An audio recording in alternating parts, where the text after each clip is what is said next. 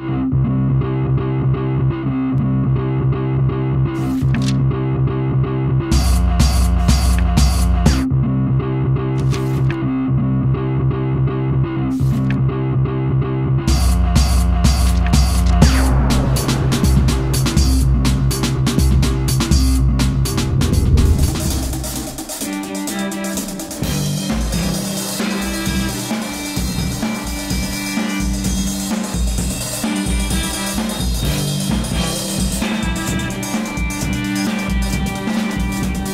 Oui, les c'est encore quelque chose qui m'a toujours plu depuis tout gosse. Et, là, c'est une consécration pour moi. Et, en plus, j'ai enlevé le titre à Baptiste Bord de mon équipe, donc euh, ça va, je suis super content.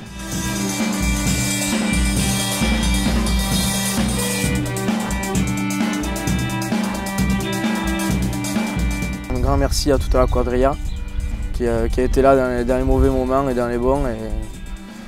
J'ai passé une super saison, j'aurais essayé de faire le maximum.